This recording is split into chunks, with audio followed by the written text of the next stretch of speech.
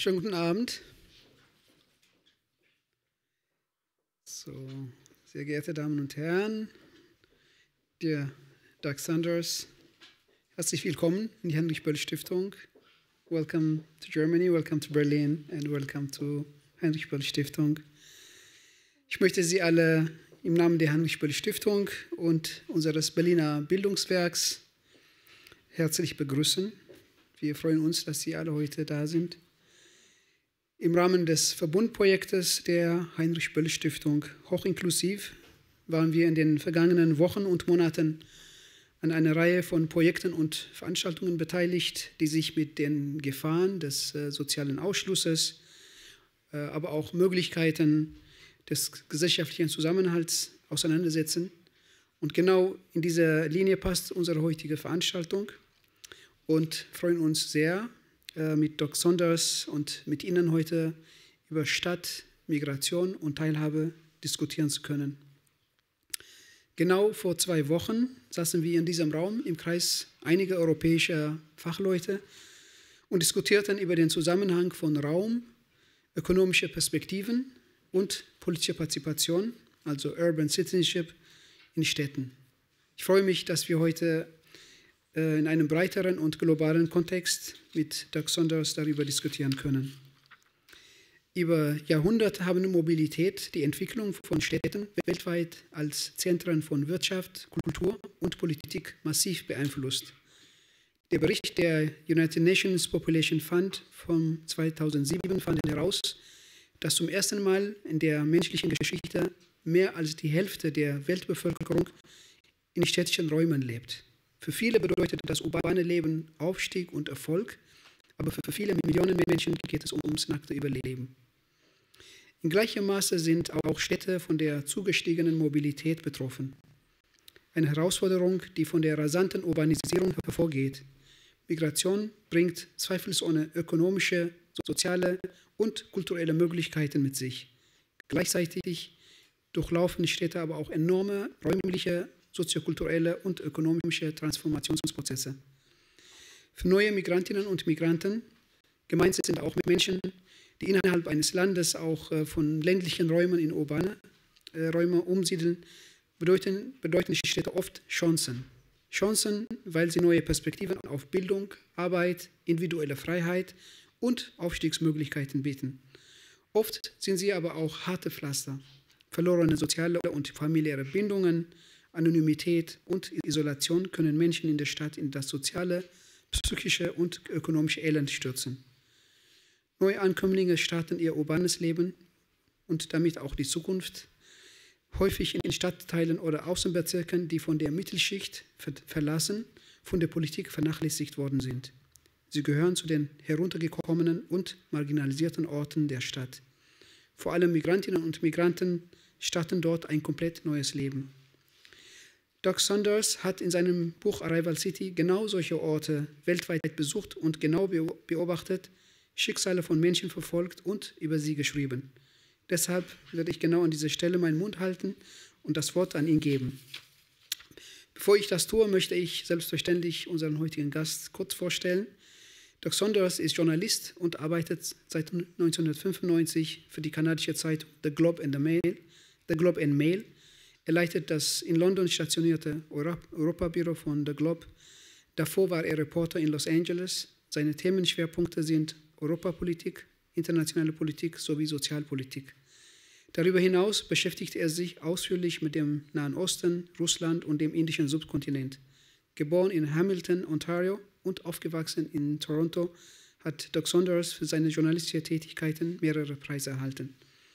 Seine aktuellsten und weltweit bekannten Bücher sind Arrival City, welches letztes Jahr erschienen ist, ähm, hat, wurde in Kanada mit einem hochdotierten Preis, Donner Prize, ausgezeichnet. Für Arrival City bereiste Doc Saunders innerhalb von drei Jahren 20 Städte auf fünf Kontinenten und untersuchte, wie Städte Neuankömmlinge aufnehmen und welche Chancen sie ihnen geben, ihre Zukunft zu gestalten. Sein zweites Buch hat den Originaltitel The Myth of the Muslim Tide, auf Deutsch Mythos über Fremdung, wurde vor kurzem erschienen. Darin schildert und enttarnt Doc Saunders in einem historischen Kontext, wie politische Agitatoren in der Vergangenheit und heute mit Hilfe pseudowissenschaftlicher Erkenntnisse Unsicherheit und Feindseligkeit in multikulturellen Gesellschaften verbreiten. Ich wünsche Ihnen viel Spaß. Doc Saunders, the floor is yours. Thank you. Thank you, and thank you, thank you, everybody for coming out tonight uh, to hear this. I'm very pleased to see so many people have come. And thank you to the Heinrich Böll uh, Stiftung for organizing this and, and uh, making this trip possible. My, my overarching subject tonight is the pathway that leads from the mud floor to the middle class. Um, something like a fifth of the world's population are essentially living on mud floors now in, in subsistence level rural areas in, as peasants, uh, and a billion of them in, in considerable poverty. But this is changing very quickly. The last 20 years have seen the largest shift in human populations, both out of poverty and out of, out of subsistence rural living in history. And right now, we are in the midst of a shift that is uh, doing to the southern and eastern three quarters of the world what happened to Europe during the time between about the French Revolution and, and the, the two world wars. That is a shift from a majority subsistence population to a strong majority urban population, which tends to stabilize things when that happens. I'm going to be taking you through, with photos, some of the places that I visit in, in Arrival City um, in order to illustrate some of these ideas. And I'll briefly be visiting some cities in Europe to talk about this new book, uh, Mythos Überfremdung, or The Myth of the Muslim Tide, which is secretly an, almost an appendix to Arrival City, dealing with the specific case of religious minority immigrants and the way that they urbanize through, uh, through urban neighborhoods because this is a topic of some controversy in Europe and North America. And uh, I thought my approach of analyzing the way integration works or fails might be more useful than some of the ideological approaches and so on. Anyway, to begin, let's start on the mud floor. Um, this is the He family who live in a village uh, near the center of Sichuan in China. Um, they they definitely live on less than a dollar a day. They're a fairly typical Chinese rice farming family. Um, and uh, they live very close to the land. You have to walk down a very long length of mud pathways to get to their house. And they, they use, you know, basically live very close to nature. They grow what they can just to survive. During periods in previous generations, the failure of crop has led to the deaths of members of families and things like that. That's the reality for that part of the world. However, if you go a few houses down the laneway, you find a house that's largely abandoned, and the people who used to live there are now here. This is the Jian family from the same place. They, 15 years ago, were living in pretty much the same sort of conditions. Now they own a, this condominium apartment in, uh, in Chongqing, the gigantic city in the middle of China and they actually have a share in the building. Their family income is about 15,000 US dollars per year, which not only makes them middle class in China, but makes them actually quite well up in the middle class. Um, they have the type of lifestyle that most of us would recognize. Now, I have to say that my travels do not take me into a lot of people who have gone from a mud floor to a lifestyle like this within one generation. And in fact, even within two generations, that's still fairly rare around the world. Uh, I had to seek out these people, uh, or I'd heard about them as a special case.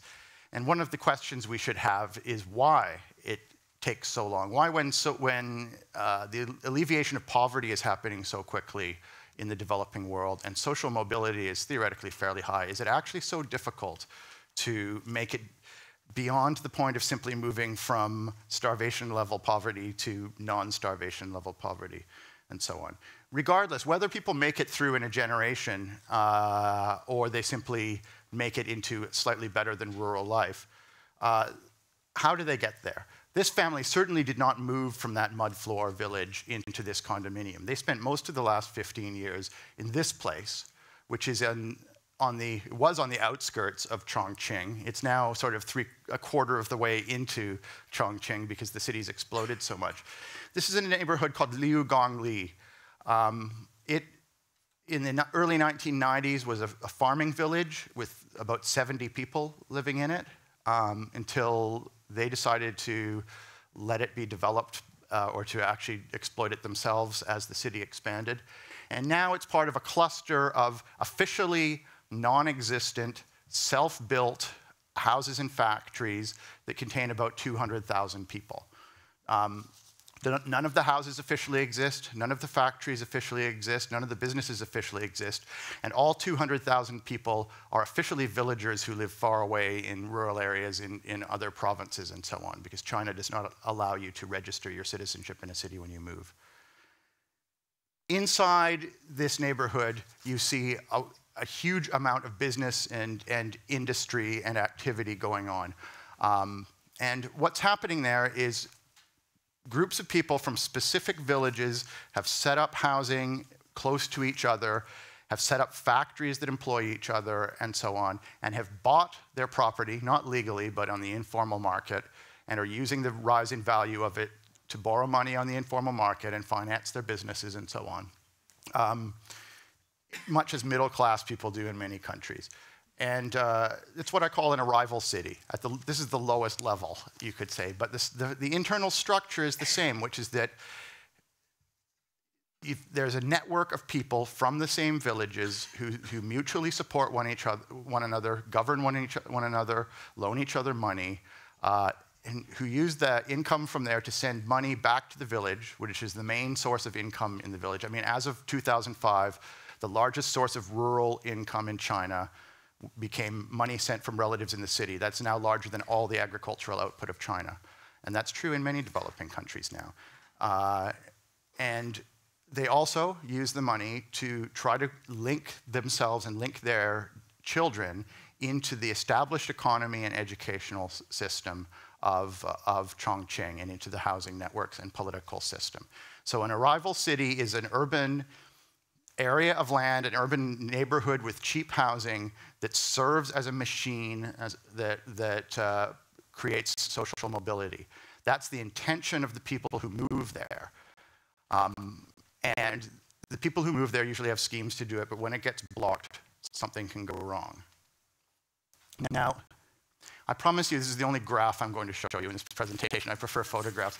Just to tell you what the underlying phenomenon is that we're talking about. This is a map of the level of urbanization of the world, starting in 1950, right after the war, going to 2050. We, our present moment is right along the middle here.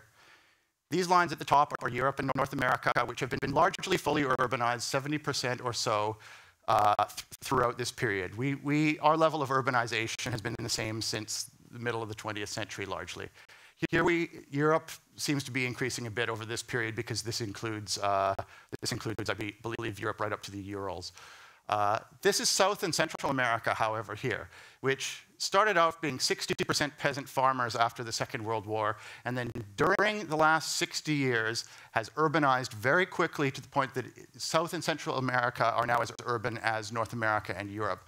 And this helps explain very much why this period in here was a period of intense political turmoil, of weekly stories about coups and revolutions and violence and so on, because a lot of both the revolutionary and counter-revolutionary violence in South and Central America during those decades involved battles over the urbanizing population and their needs and so on. I would argue that the military dictatorships in several countries were responses to that. And the reason why we've had, we had a decade of largely democratic stability in most countries in here was because that process was complete. Um, however, here we have Africa and Asia, which started out being extremely rural, now are kind of halfway there, and, uh, and are, are, in other words, halfway through this enormous uh, shift of, of population. How do populations like that shift? Um, what does it mean for them, for them to shift, and what are the consequences of that? Just briefly, to describe a couple of the larger macro consequences of this phenomenon and why this is important to worry about beyond just human conditions is that when this happens, A couple, a couple things occur that have great importance for the ecological future of the Earth, you could say. One of which is that whenever a family shifts from this end, from the rural end to the urban end of the spectrum, the number of children they have everywhere decreases dramatically. I mean, um, a typical case would be Iran, Iran, which went from having seven children per family in the 1980s to having 1.7 children per family now, less than France, and therefore has a shrinking population at this point, or close to, close to shrinking population. Um, similar really dramatic transitions have occurred in Turkey, Lebanon, United Arab Emirates, Bangladesh, and so on, which are all now approaching European family size levels, and as a result, going from fast growing populations to stable and then shrinking ones. The success of urbanization will determine the point at which the Earth's human population will peak and start declining and so on. Right now, the best projections from the United Nations Population Division have the world's population peaking in the last couple decades of this century at something more than 9 billion. Um, there are only about 17 countries in the world that are driving all the world's population growth at the moment. And if things could be done politically to make agricultural modernization happen in those countries, urban management happen better so that people uh, have reasons to urbanize voluntarily, you never want to force people, then we could shift that peak to uh, several years earlier to say peak, the world population peaking in the year 2050 at uh, eight and a half billion or something like that. It makes a huge difference as far as the consumption of resources in the future and so on, how this happens. And a lot of this depends on how these neighborhoods I'm talking about, the arrival city neighborhoods, are managed. The second consequence is on the rural level. Um, when guys like this, I met these guys in northern Bangladesh, in Sylhet, uh, do farming this way, they don't produce an awful lot of food per hectare. They're usually growing for their own survival and so on. And when you have a lot of people living in the rural areas, you don't produce a lot of food. When Europe had three quarters of its population living in villages like this, starvation and malnutrition were very common phenomena. Food shortages and the ensuing riots were a major factor, and so on. Only when Europe got down to less than 20% of the population in rural areas did Europe start to produce more food than it consumed. And just to, to, give you a sense of that difference, I mean, Canada, where I was born, has 2% of its population employed in agriculture.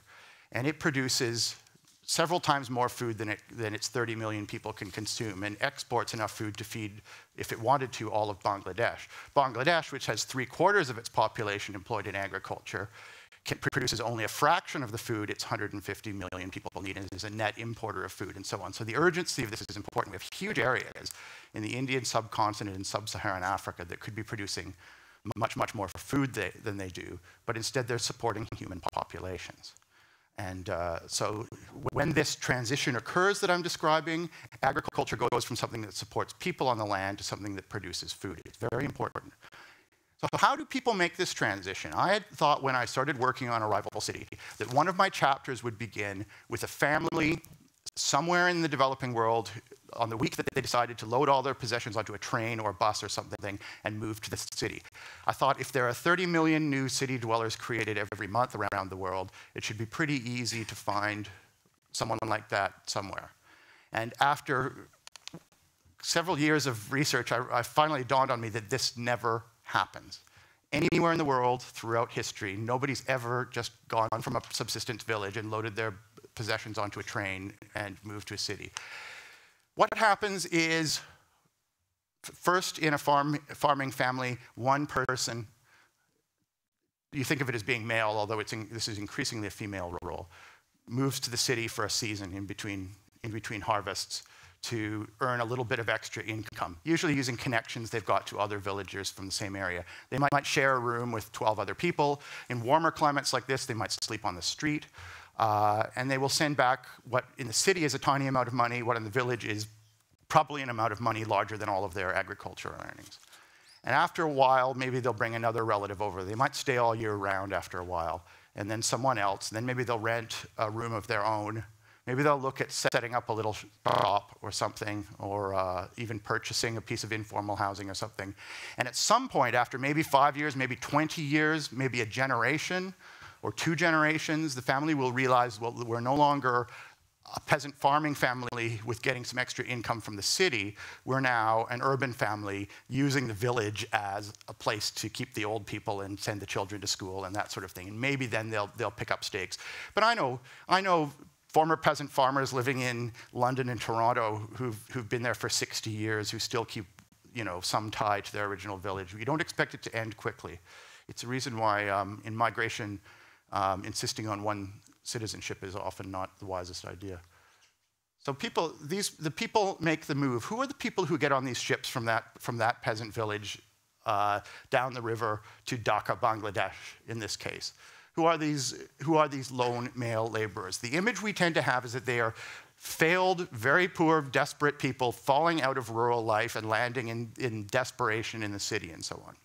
In fact, they tend to be the people from the village who are most ambitious, who've saved up money because it's, it's not cheap or easy to do this, who, uh, who are taking the largest risks in order to do this because it's a very risky thing, uh, and so on. It tends to be the, the most uh, ambitious, and, and I would say about half of all villagers who move to arrival city slums in the developing world end up moving back because they can't take it for various reasons. So what you're left with is the toughest of the toughest.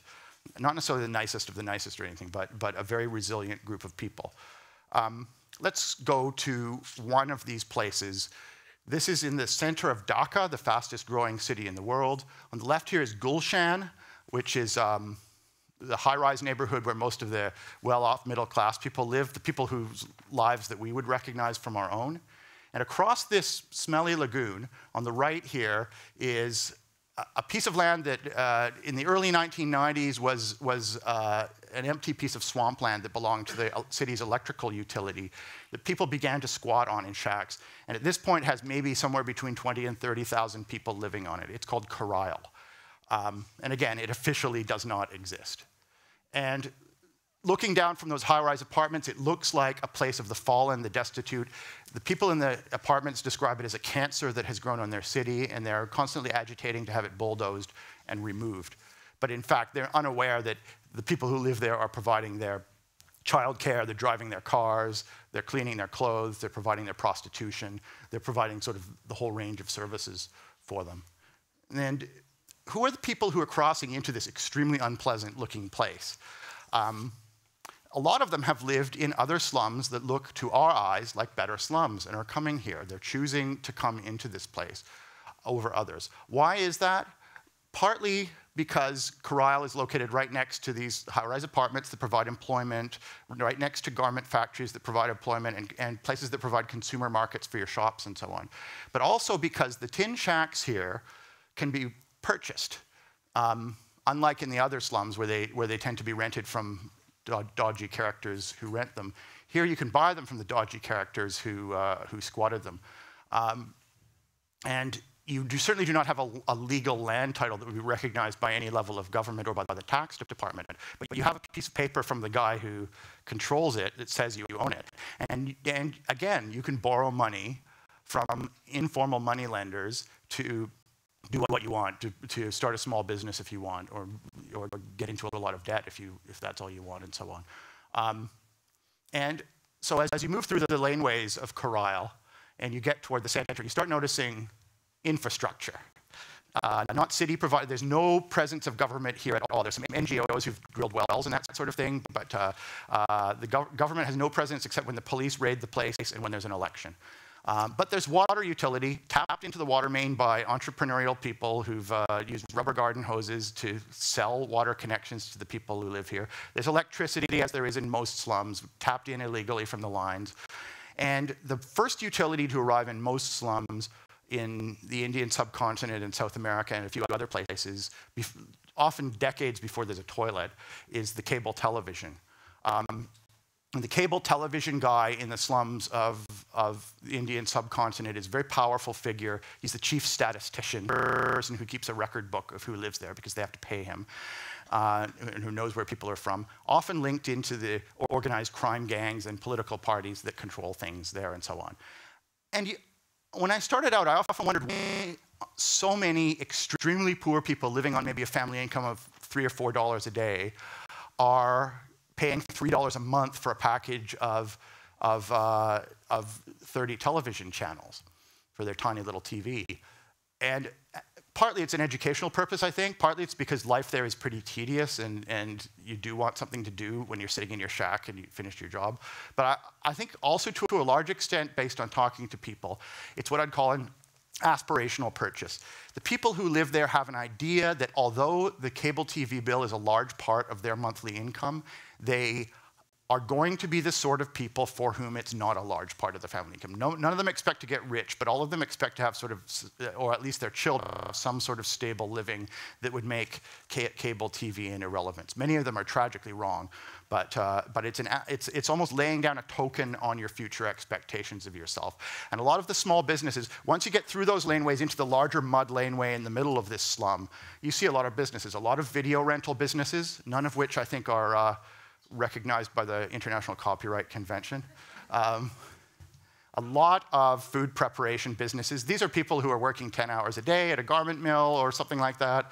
Uh, convenience food is important, and it being Bangladesh, the, the food is often really excellent. And, uh, and video arcades. I was surprised by that at first. Uh, and uh, until I realized that the video arcades are essentially another substitute for the missing state. They are de facto child care centers. Parents send their kids to them all day while they work, uh, and so on. And there are a lot of these de facto, not quite great substitutes for things that the state should be providing, um, including substitutes for medical things that aren't very nice, and so on. Photo studios, which again, not realistic photos, but oriental fantasies to, uh, uh, again, aspirational. Class, various types of informal schooling provided by people for a fee inside the slum to each other. Um, uh, here you can see they're learning English uh, as well as Bengali.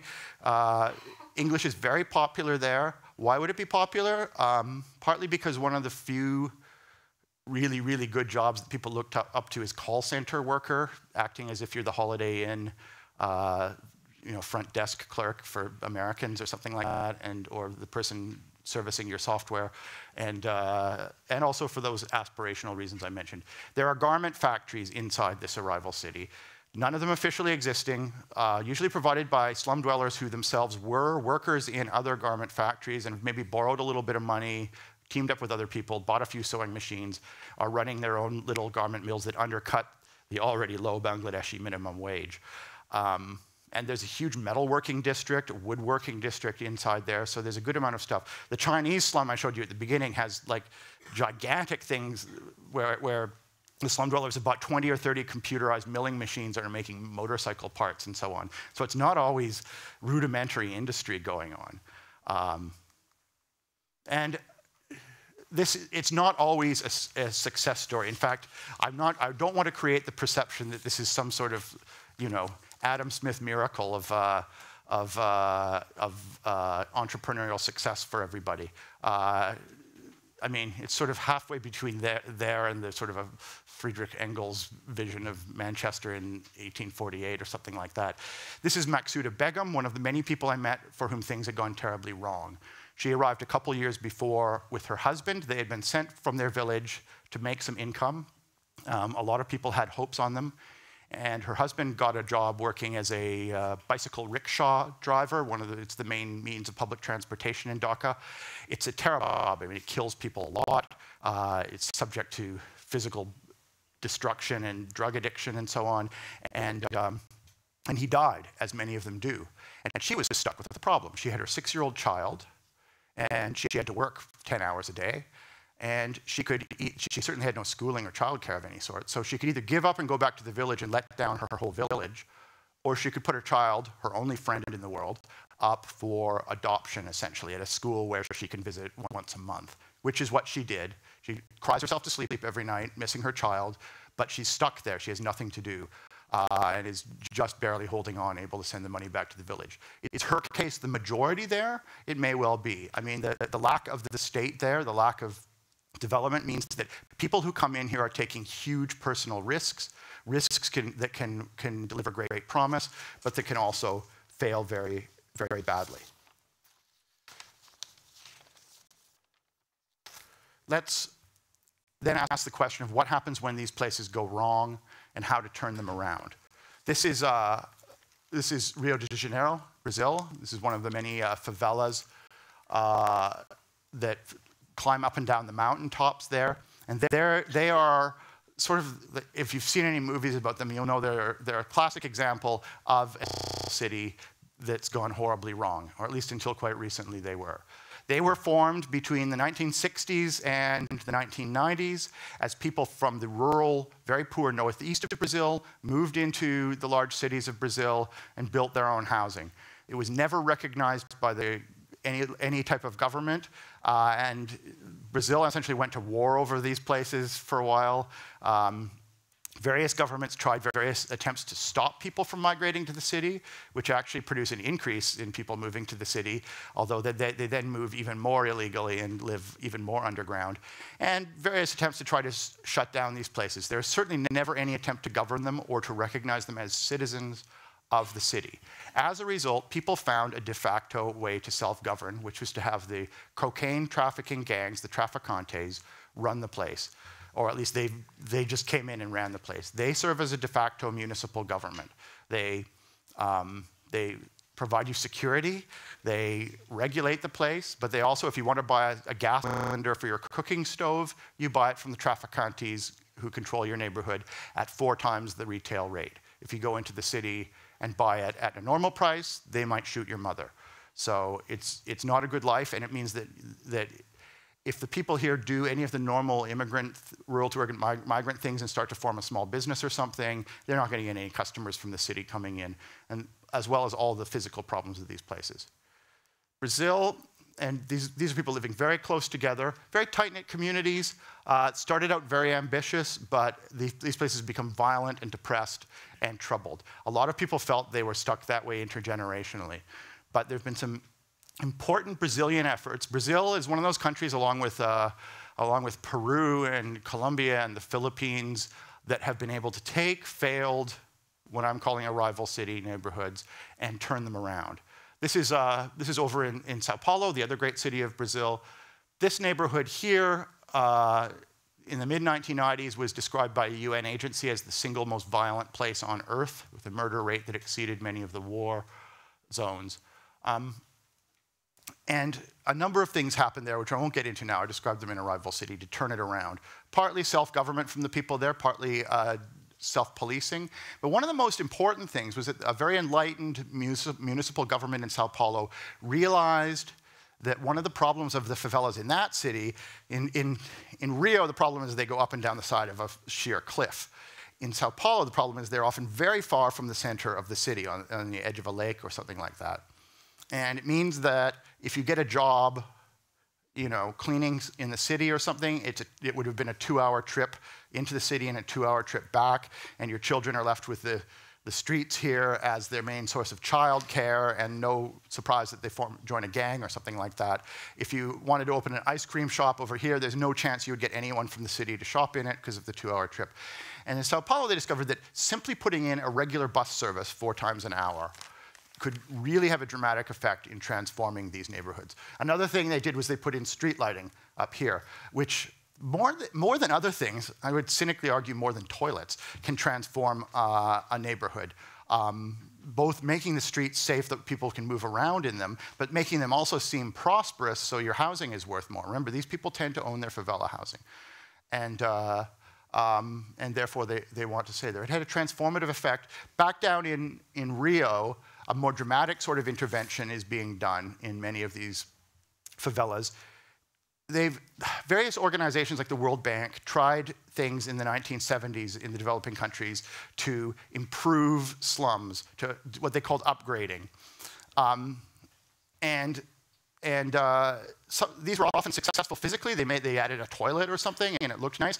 But they discovered one of the problems with with this was that as soon as you put in a toilet, it, it raises the property value of of the slum housing uh, to the point that it no longer is a place that very poor people can afford to live in, and so on. Um, and it, tend, it, it creates some distorting effects and so on. And the Brazilians are doing one of the several solutions. There's, there's, a, there's a, lot of ways around these problems because uh, they sort of gave up after a while in the 70s. But what they do in Brazil is, is, a complete intervention, one of which is to control who, basically to say whoever's living there now are now the official residents because you've mostly been living there for 40 years. And let's freeze this place in place and make it an upwardly mobile neighborhood rather than a slum neighborhood.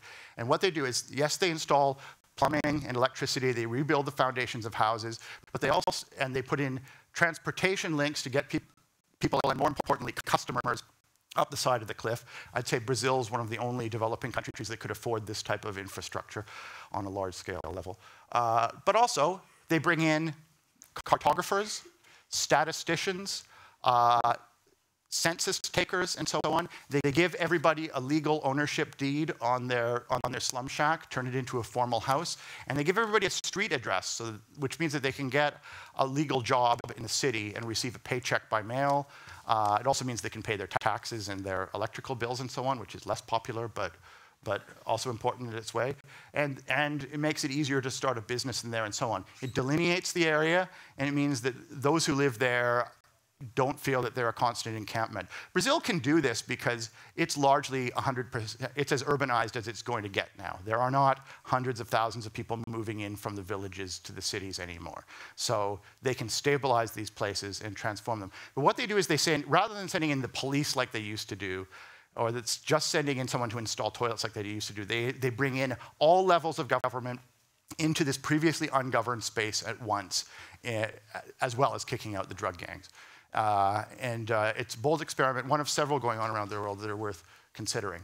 Oh, yes, and they bring in Wi Fi, um, which is happening anyway. The, in the Brazilian favelas, by one study uh, in Sao Paulo, the rate of internet penetration is about 25%. That is, 25% of households at this point have access to some form of, of internet and so on. It's increasingly something that not the rural poor so much, who really don't have any money to buy anything, but the urban uh, arrival city poor are using.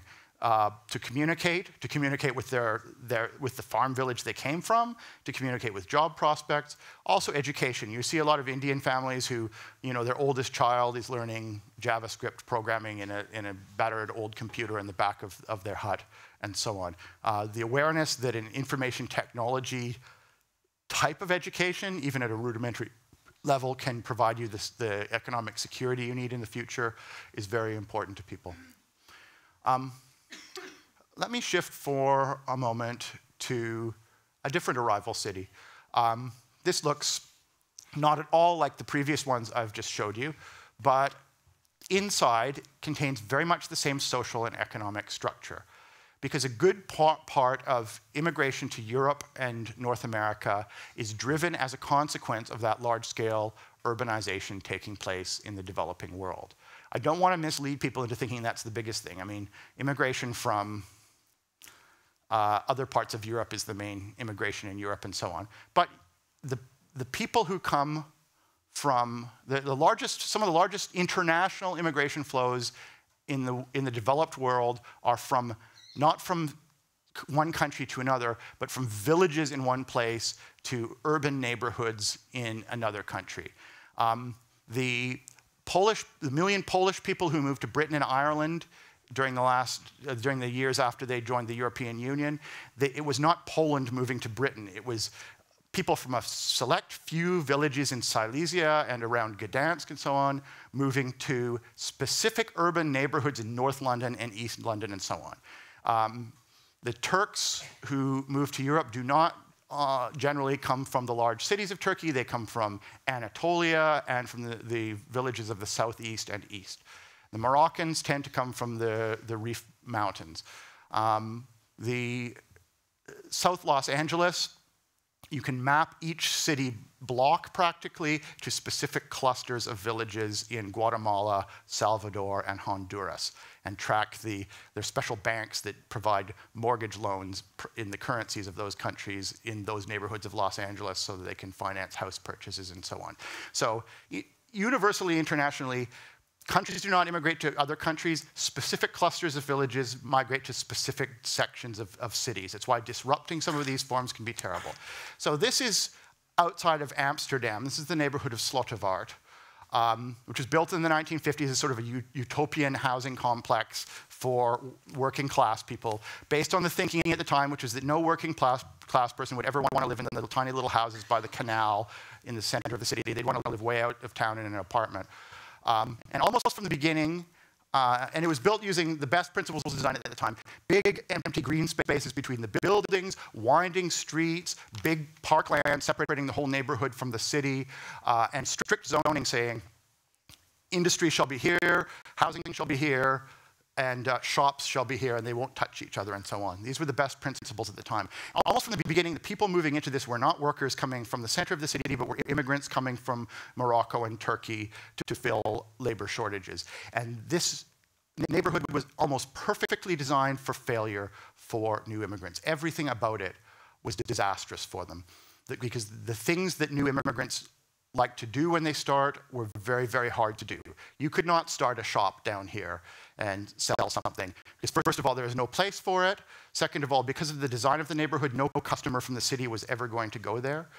It was very low population density, which meant that there were these frightening empty spaces between buildings that, that gangs and untrustworthy people hung out in that, that further lowered the property values. Uh, and, uh, and, uh, and it felt like it was very, very difficult to connect yourself in any way, socially, educationally, economically, to the actual city you lived in. It was easier to connect yourself via these satellite dishes to the country that you had come from. And this neighborhood spiraled downward over the years until it became the place in these, these blocks of buildings here where that young man came from who murdered Theo van Gogh, the filmmaker, and started this cycle of political reaction and extremism that has dominated Dutch politics for the last several years and continues to in many ways. What do you do about this? What do you do when a neighborhood like this becomes a parallel society, to use the expression, and so on. And one of the principles of the arrival city I think we have to understand is to understand why it's failed, often you have to understand what made it an arrival city in the first place. Why was the, why was the property cost or the rental cost so much lower than other places in the city that a poor villager from somewhere could move into it? Sometimes it's because of physical limitations. Um, and usually that, sometimes it's because of bureaucratic limitations. And so, sometimes the problems aren't because of the situation of the city, arrival city, but are because of citizenship policies that prevent people from doing things.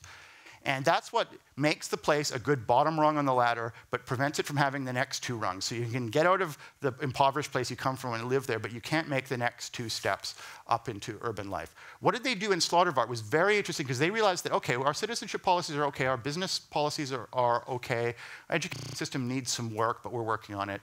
But this neighborhood's physically impossible. And like many of the new immigrant neighborhoods, it's physically designated in a way that it could never succeed. So, so some of the housing cooperatives that run this demolished these buildings and replaced them with these. And what they said was, let's take a look at the arrival city neighborhoods that have worked really well. Lower East Side of New York City. It has sent about five different ethnic groups have gone through there East European Jews, uh, Southern European Catholics, Irish Catholics, uh, uh, Central Americans, Greeks have all moved through the Lower East Side, succeeding, becoming university educated, moving into the middle class. Usually takes about three generations and so on, but it's, it's always worked. It looks like this. Lower Spadina Avenue in Toronto, where I come from, looks like this. Brick Lane, uh, uh, Spitalfields, Whitechapel in London, which has again sent multiple ethnic groups into integration, looks like this. Let's recreate that physical form in hope that the social form will follow it five to 15 story buildings with no green space in between, but nice little parkettes behind them, um, along very straight streets to allow a lot of car traffic so that customers will come to your shop, um, directly connected to the core of the city so you can get back and forth easily and so on.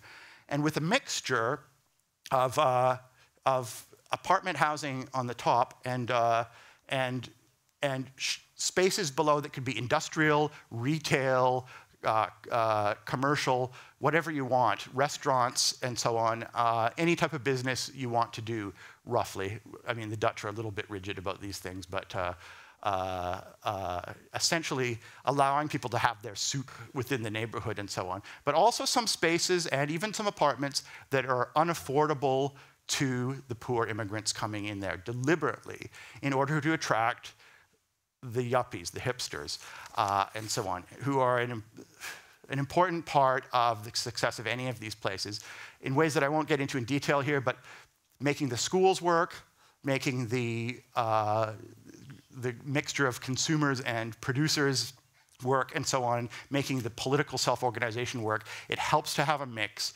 of classes, it helps to have a mix of cultures, and so on. Now, I'm not arguing that clustering of people by ethnic group is a bad thing and should be eliminated. It should stay, and it continues in places like this, because people need to be mutually supporting each other, forming these networks of support uh, when they immigrate.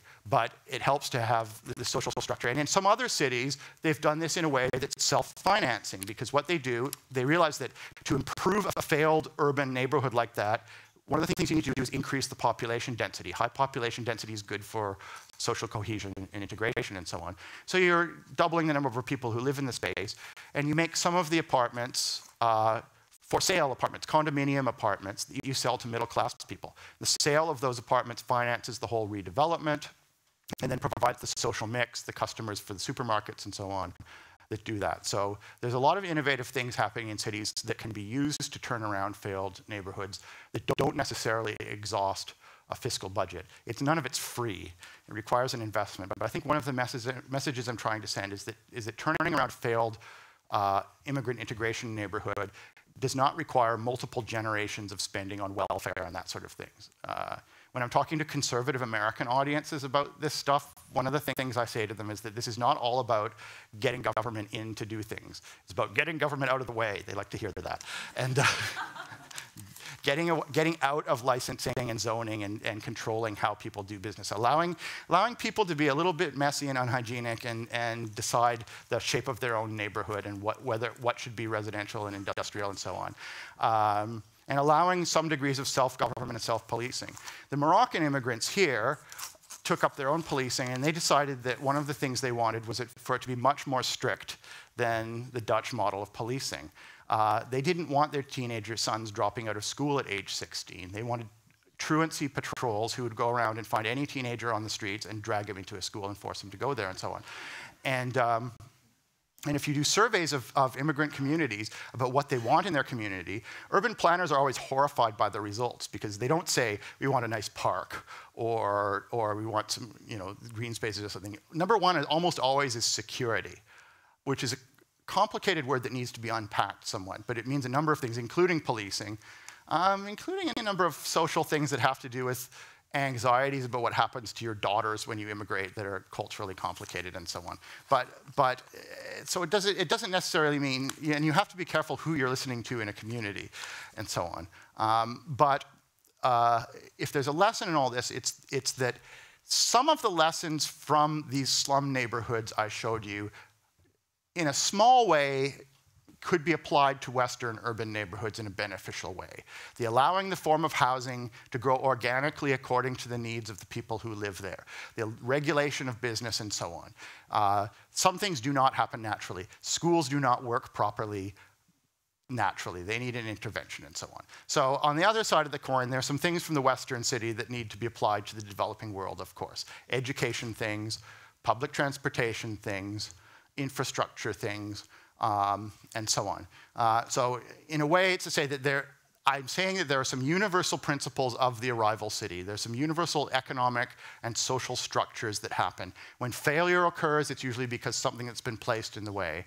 And that we ought to learn lessons from both failed and revived arrival cities around the world to learn how to make this large-scale urbanization work in the favor of our cities, for the improvement and betterment of our cities and our economic and social futures, rather than to create future failures. Thank you very much. And, uh